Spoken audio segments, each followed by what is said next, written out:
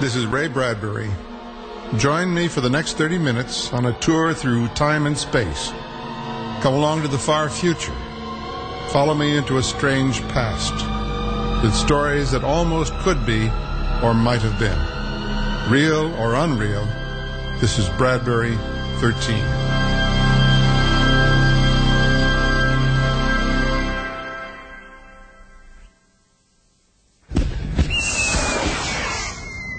There were fireworks the very first night. Things that you should be afraid of, perhaps, for they might remind you of other more horrible things, but these were beautiful rockets that ascended into the ancient soft air of Mexico and shook the stars apart in blue and white fragments. Everything was good and sweet. The air was that blend of the dead and the living, of the rains and the dusts.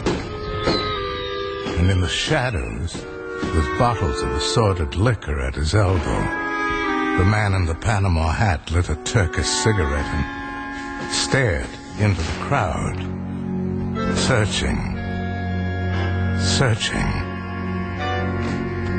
Ray Bradbury's The Fox and the Forest.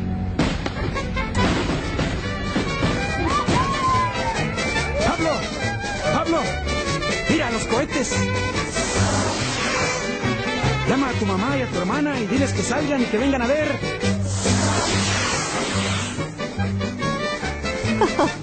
Oh, Bill, isn't it wonderful? Well, they sure know how to celebrate down Whoever here. thought they did this back in 1938? Yes, 1938. It's a good year for fireworks and tequila. Have some more. No, I've had too much already.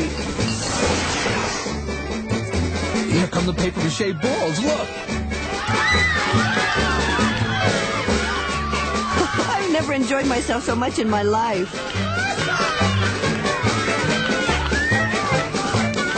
It's amazing. It will go on, won't? Sure, all night probably. No, I mean our trip. Of course it will. I've got enough traveler's checks for a lifetime in Mexico. Enjoy yourself. Don't worry about They it. They could find us. Forget it, Susan. They won't find us here. Never? Never. Look, they killed a bull. Let's take a look at him. Bill, that man in the cafe. What about him? I saw him in the plaza this morning. Take it easy. He's nobody. But he was in the hall last night when we went to our room. Don't look back. Keep walking. Examine the paper mache bull here. That's it. Do you think he's from the searchers? Oh, they couldn't follow us. We were too careful. What if they did? What if he followed us back through 200 Watch years? yourself. Keep looking at the bull. You'll be all right. I need to sit down. Not out here. Let's go in the cafe and drink right in front of him, so if he is what we think he is, he won't suspect a thing. No, I can't. We've got to. We're now inside. and so I said to David, without ridiculous.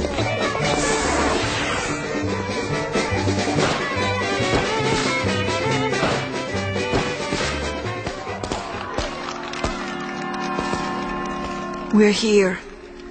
Who are we? Where are we going? My name is Anne Kristen. My husband's is Roger. We lived in the year 2155 AD in a world that was evil. A world that was like a great black ship pulling away from the shore of sanity and civilization, roaring its black horn in the night. Taking two billion people with it, whether they wanted to go or not, to death to fall over the edge of the earth and the sea in radioactive flame and madness. And then one blue April morning, the phone call.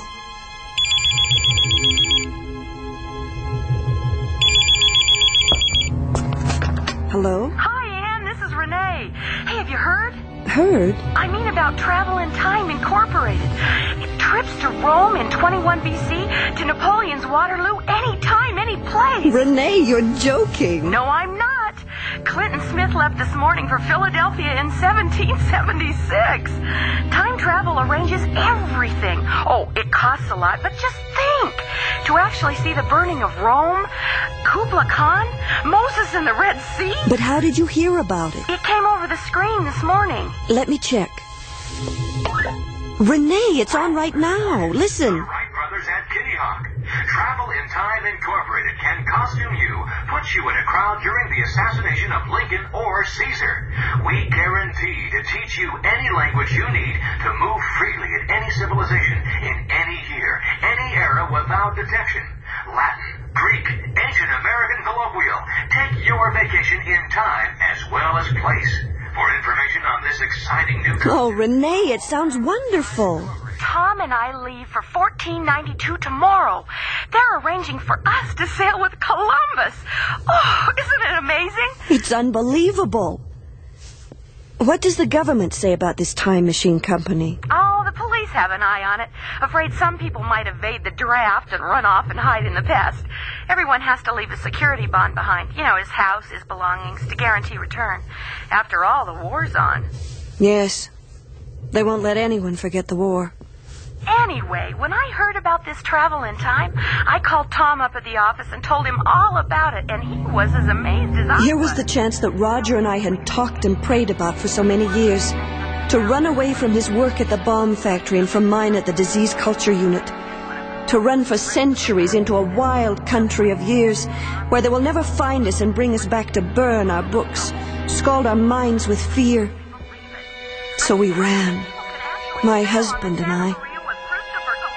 Roger. Roger, Kristen.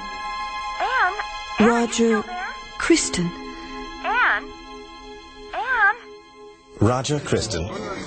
Mr. Roger Kristen, isn't it? I'm afraid you're mistaken. Mr. Kristen, you did not pull your pant legs up before you sat down. You've got the wrong person. My name's not Christler. Kristen. I'm William Travis, and I don't see what my pant legs have to do with you, Mr. Uh, Sims. May I sit down? well, Let me apologize. I thought I knew you because you did not pull your trousers up. Everyone does. If you don't, the trousers bag quickly. very interesting, Mr. Sims. I'm a long way from home, Mr. Travis. And in need of company. Mr. Sims, we appreciate your predicament, but, well, we're tired and about ready to head for our room. We're leaving for Acapulco in the morning. Oh, charming spot. I was just there looking for some friends of mine. Oh? And did you find them? No, I'm afraid not. But I will. Oh, is your wife feeling ill? Oh, It's nothing.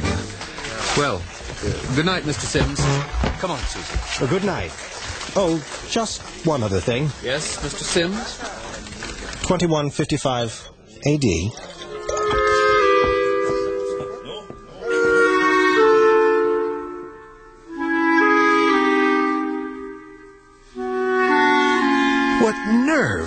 Him sitting there looking us up and down like like animals, smoking his cigarettes, drinking his drinks. I should have killed him then. Bill. Oh, I'm sorry. I'm just upset. Look, why don't you lie down? I'll get you something to drink. Now, he even had the nerve to use his real name on us. Sims, the chief of the searchers. They must really want us bad if they sent him here. Here, drink this. Thank you. And that thing about my pant legs. I knew I should have pulled them up when I sat down. It's it's an automatic gesture in this day and age. When I didn't do it, it made him think, now here's a man who never wore pants. A man used to breech uniforms and future styles. Oh, I could kill myself for giving us away. No, no, it was my walk. These high heels that did it. And our haircuts, so new, so fresh. Everything about us is odd, different. And the way we drink liquor. Anyone could tell we're not used to hmm. that. Liquor and cigarettes. Everything we can't get in the future. It Gave him away, too.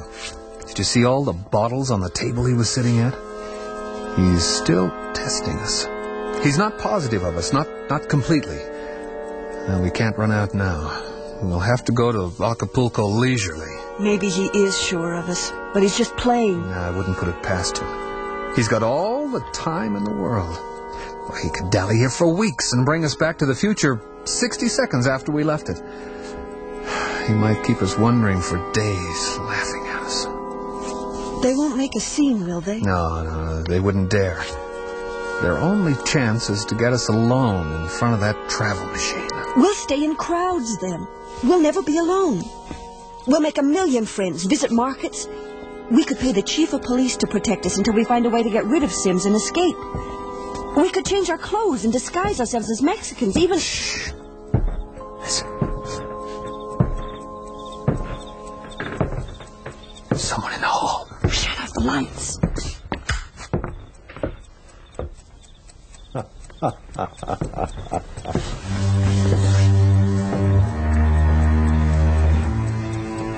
Sims. It had to be him. He's gone now. They're still celebrating down there. Hmm. Probably all night. Bill, that building in the plaza. What building? That one, that big one. What is it? That's a, it's a church. I thought so. I've often wondered what a church looked like. It's been a long time since anyone saw one. Would you like to visit it tomorrow? Could we? I'd really like that. Sure. First thing after breakfast. Well, come on. Let's get some sleep. Susan, leave it. Susan? Hello? The rabbits may hide in the forest, but a fox can always find them. Susan, what is it? It was. Sims. Never mind. Go to sleep.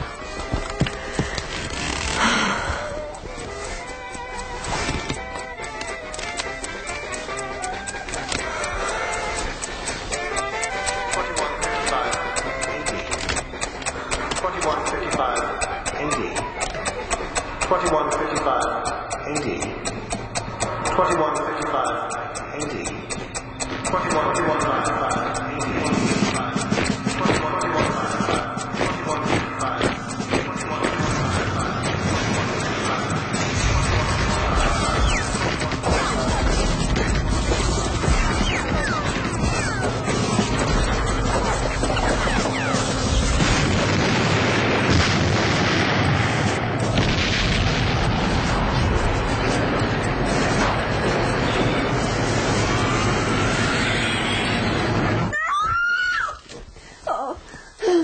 Susan, Susan, wake up, wake up. Oh, Bill, I was dreaming. I know, I know.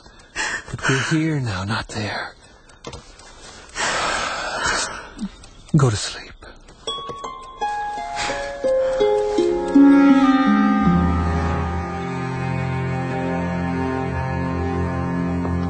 Senor, your breakfast. Thank you. Ooh, I hope these eggs are as good as they smell. It still amazes me. Fresh ham and eggs anytime you want them. Sounds like a traffic jam out there. Wonder what it is. Oh, senor, you have not heard? An American motion picture company is here making a movie on location. A movie, huh? Sounds interesting. Let's watch them. What do you say? Well, Come on, let's watch them film. Get our minds off everything. They say primitive filmmaking was really something. We can go to Acapulco later, okay? sure, why not? Sue, here comes Sims down the stairs. Smile at him. That's right. Oh, he can't do anything with all these people around. That's right. He can't, can he? Of course not. Look, here come the actors. Yeah, I could hire two of them, dress them up in our clothes, have them drive off in our car, and let Sims follow them. While he's chasing them, we could make it to Mexico City. Take him years to find us there. Do you think we could? Watch it. Hey, American tourists. I'm so sick of seeing Mexicans I can kiss you. Come and eat with us. Well, come we, uh, on. Misery loves company. I'm Misery, and this is Miss Gloom. Hi. And Mr. and Mrs. Boy, do we hate Mexico. We all hate it. But we're here doing some preliminary shots for a film. Oh, I see. Yeah, the rest of the crew gets here tomorrow. My name's Joe Melton, the director of this epic. How do you do? I'm uh, uh, Bill Travis. This is my wife, Sue. Glad to meet you. Boy, ain't this a country? Funerals in the streets and people dying. Come on, move over. Cheer us up. sure, we've got room. Bill, here comes Sims. Who's Sims? Mr. and Mrs. Travis. I thought we were breakfasting together, alone. Sorry. Sit down, pal. Any friend of theirs is a pal of mine. Thank you, Mr. Melton, Joe Melton. Hey, waiter, how about some service? Muy bien. I hope you slept well, Mr. Travis. Did you? I'm not used to spring mattresses, but there are compensations. I stayed up half the night trying new cigarettes and foods. Oh? Yes, fascinating. A whole new spectrum of sensations, these ancient vices. Ancient vices?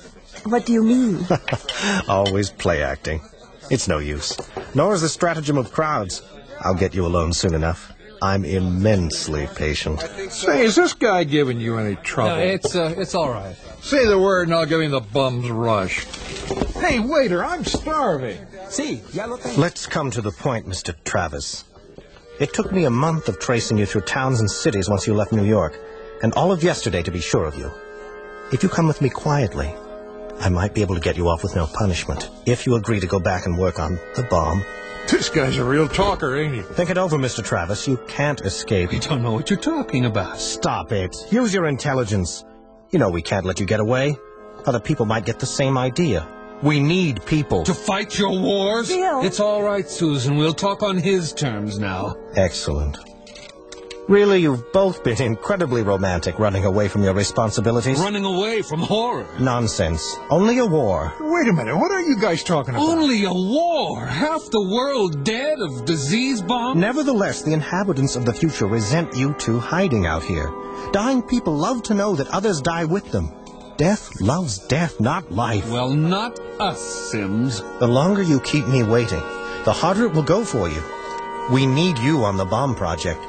Return now, no unpleasantness. If you wait, we'll force you to work. Then we'll try a few disease cultures on you, Mr. Travis. I, uh, I have a proposition. I'll come back with you if my wife stays here. Bill! That's that's my offer. All right. Meet me in the plaza in ten minutes. I'll be sitting on the bench by the tree. Pick me up in your car and we'll drive to a deserted spot and have the travel machine pick us up there. Bill! It's all right, Susan. It's settled. One last thing, Sims. Last night you could have gotten in our room and kidnapped us, but, but you didn't. Shall we say I was enjoying myself? I hate the thought of giving up this wonderful atmosphere, this vacation. I shall regret leaving it all behind. The plaza then. In ten minutes. Your wife will be safe here and may stay as long as she wishes. Say your goodbyes. There goes Mr. Big Talk. Goodbye, Mr. Big Talk. Susan, wait for me on the balcony. But I, I, I can't explain. Just wait for me. It'll be all right. Trust me. Hey, where are you two going? Hey!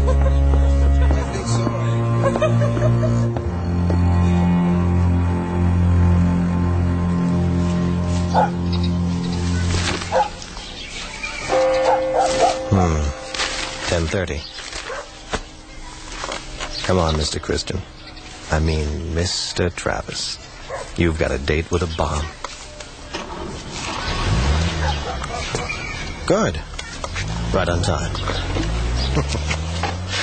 this was easier than I thought. What? He's crazy. No, No, no, no!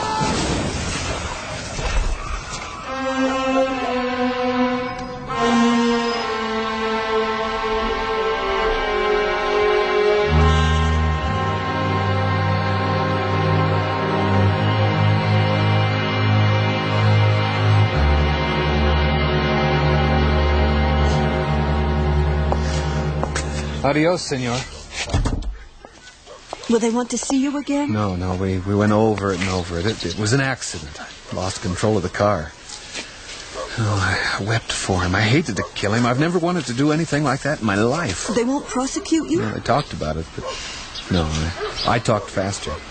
It was an accident. It's over. Where will we go? Mexico City? Car's in the repair shop. We'll be ready at four this afternoon. Then we'll we'll get in it and go. Will we be followed?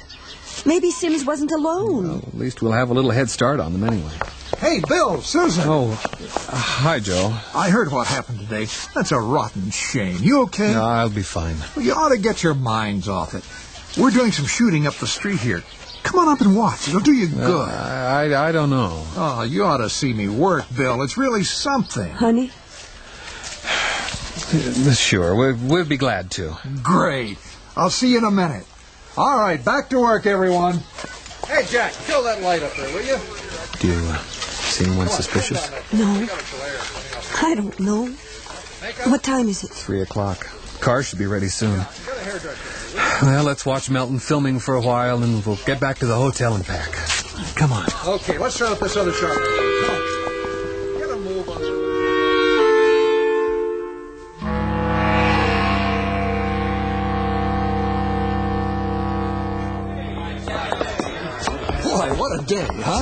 Hey, Bill, Sue, what do you think of that scene we shot? It was fine. Fine. It was a Rembrandt. What do you mean, fine?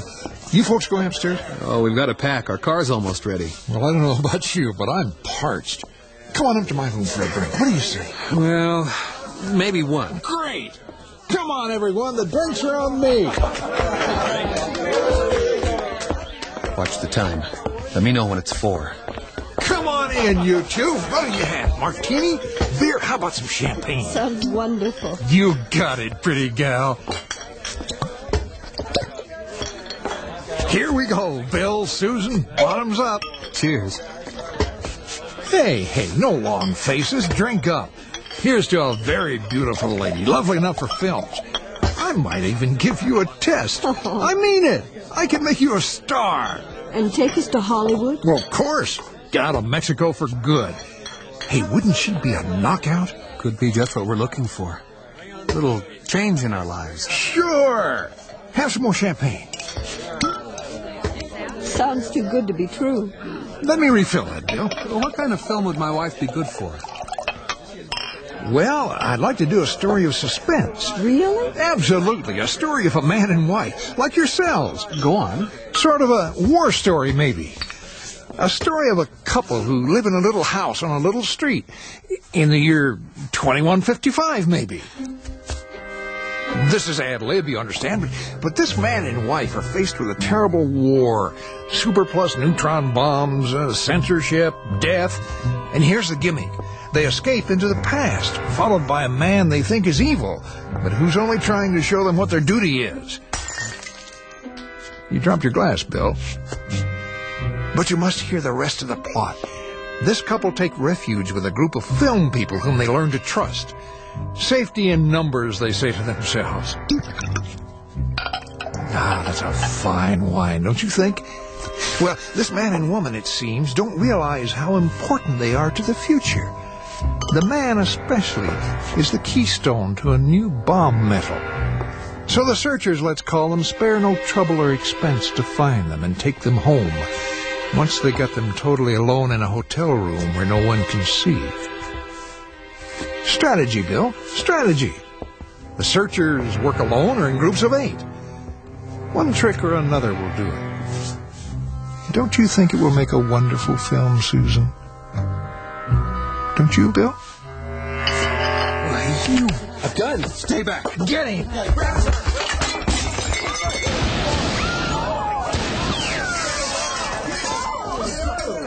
That was a stupid move, Mr. Kristen.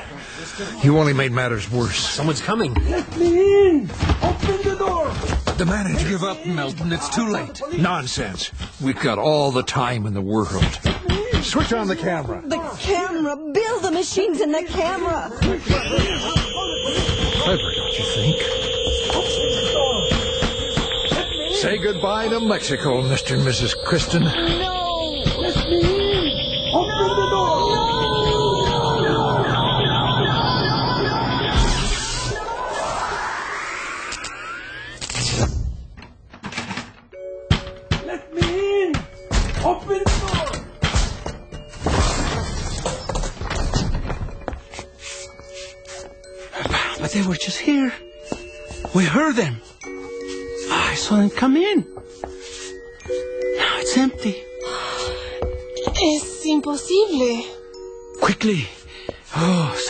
Maria, we must summon the priest and have him sprinkle the room with holy water and give it his blessing.